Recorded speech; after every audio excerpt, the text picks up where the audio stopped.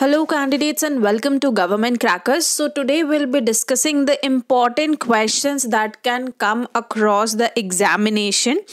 So we'll be talking about the military affairs, basic military affairs which can come across the examination. So such kind of questions are basically asked in interviews also or any different examination that you are giving up. ठीक है सो एक ही करके इनके बारे में हम discuss करेंगे और कौन से सेक्टर से आपको कितना पढ़ने की ज़रूरत है उसके बारे में भी हम डिस्कस करेंगे अभी तक जिन भी लोगों ने चैनल को सब्सक्राइब नहीं करा है they can subscribe to the YouTube channel of Government Crackers and साथ ही आपको बता दें कि जितने भी हमारे डिफेंस कोर्सेज हैं 2021 बैच के लिए all you can get between the range of 500 to 1000 तो अभी तक किसी ने रजिस्टर नहीं करा है तो अपने आप को जाके रजिस्टर करके कोर्स अवेल कर सकते हैं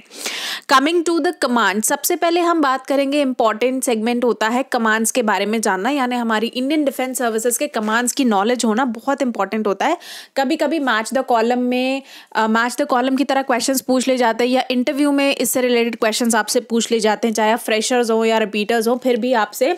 जब आप एक सडन प्रेशर में होते हैं तब आपसे इस तरह के क्वेश्चन पूछे जाते हैं तो कमांड्स के बारे में हम डिस्कस कर लेते हैं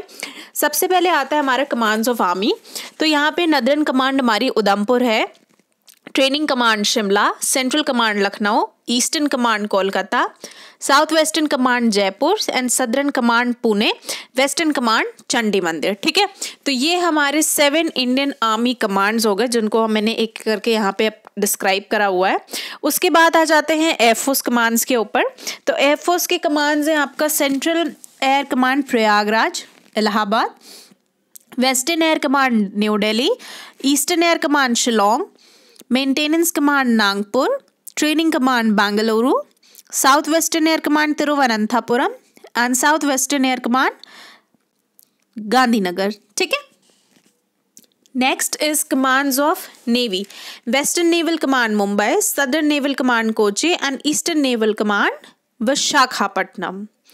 now will be talking about the present army air force and navy chiefs ठीक है इनके बारे में हम देखेंगे तो अभी जो हमारे फर्स्ट सीडीएस हैं जो इन तीनों चीफ्स के ऊपर एक कॉमन रैंक आई है वो है सीडीएस की and first CDS is chief of defence staff general Bipin Rawat U Y S M A V S M Y S M S M V S M A D C तो at times ये honours भी दे दिए जाते हैं पूछ लिए जाते हैं तो इनको भी आपको ध्यान में रखना बहुत ज़रूरी है इसलिए मैंने स्पेसिफिकली यहाँ पे मैंशन करा हुआ है उसी तरह आर्मी के लिए general Manoj Mukund Naravane P V S M A V S M S M N V S M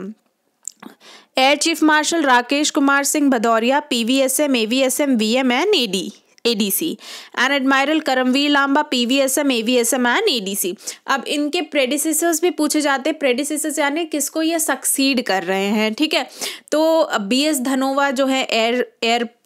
force के केस में है बिपिन रावत हो गए ये जो है आर्मी के केस में है एंड सुनील लांबा जो है वो नेवी के केस में है ठीक है तो ये मैंने आपको प्रेडिसेसर्स एंड प्रेजेंट चीफ्स के बारे में बता दिया जो आपको पता होना चाहिए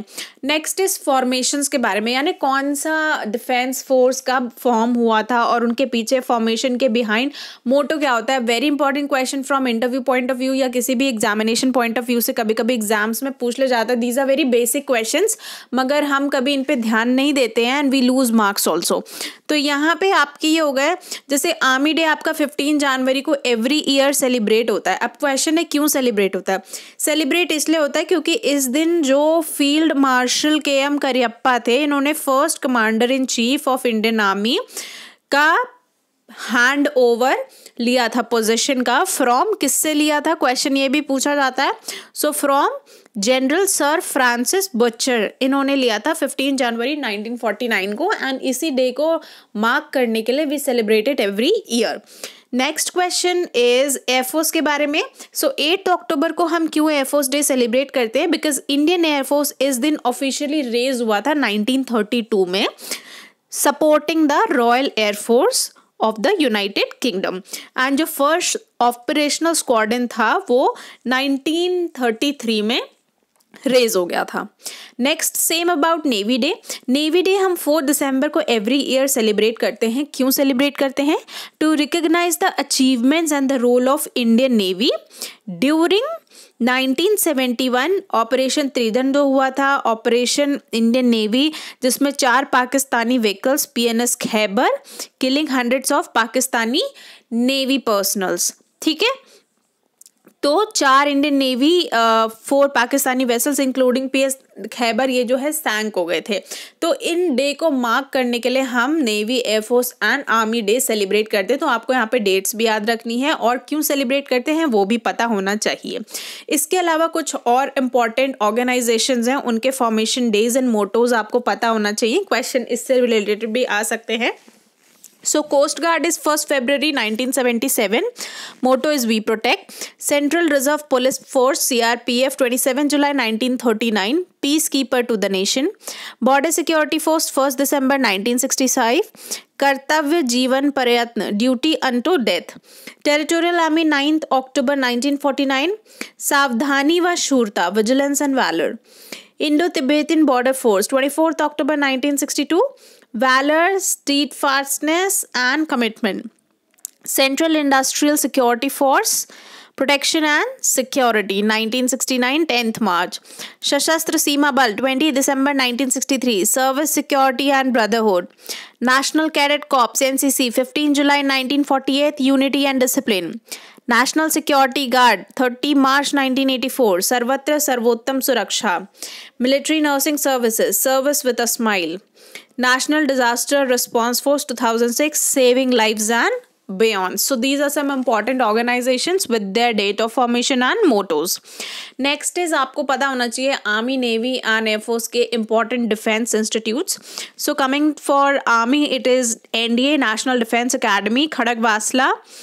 next is national defence college New Delhi college of defence management Secunderabad College of Military Engineering, Pune, Rashtriya Indian Military College, Dehradun, Armed Force Medical College, Pune, Officers Training Academy, Chennai, High Altitude Warfare School, Gulmarg, Counter Insurgency and Jungle Warfare School, Bariantange, Mizoram,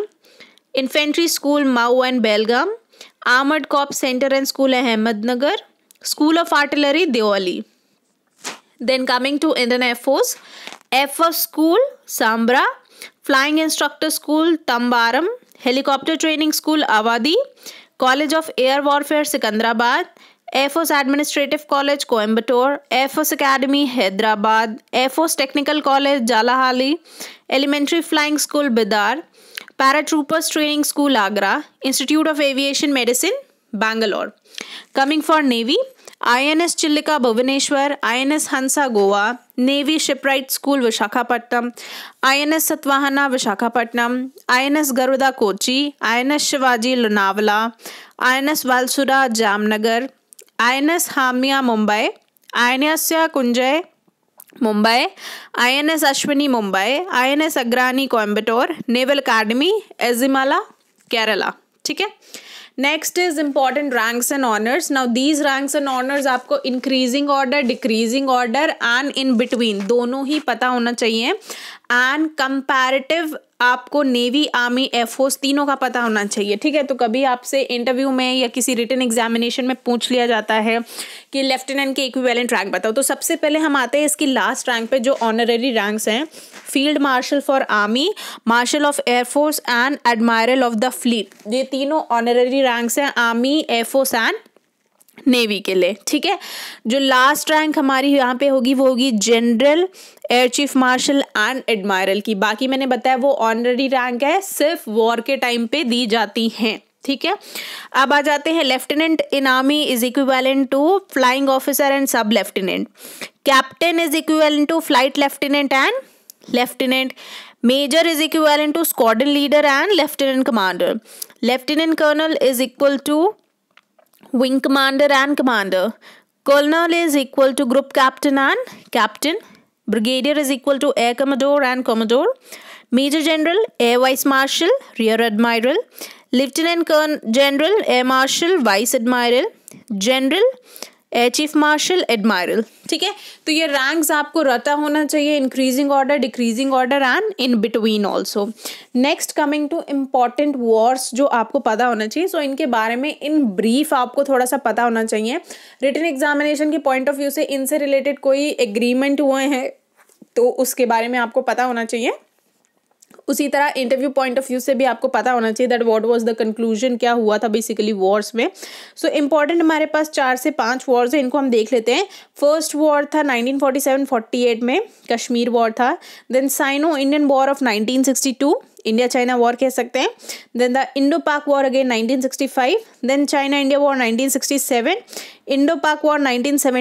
and then last was the Kargil war 1999 तो इनके पीछे के reasons इनके पीछे के agreements इनके पीछे के इम्पॉर्टेंट ऑपरेशंस इन बिटवीन जो हुए हैं वो आपको थोड़ा सा और लुक ओवर करने की ज़रूरत है तो this was important from military concept जो बेसिक मिलिट्री कॉन्सेप्ट हैं टाइम्स इट सीम्स बेसिक लेकिन हम कभी कभी इसको मिस कर जाते हैं आप में से बहुत लोगों को आई होप नहीं पता होगा कि हम आर्मी एफ डे क्यों मनाते हैं ठीक है इन अ सिमिलर वे बहुत सारी चीज़ें हमें नहीं पता या पता है तो एक बार दोबारा मगअप करने की ज़रूरत है सो so, उस कॉन्सेप्ट के साथ I have given this session I be back with the next session ठीक है so you can avail the courses जो बहुत ही अफोर्डेबल कॉस्ट में है five hundred to one thousand you can get written examination and S S B courses also so one time payment है twenty four hours के अंदर you'll get your written material best of luck to every one and I C you in the next session जय हिंद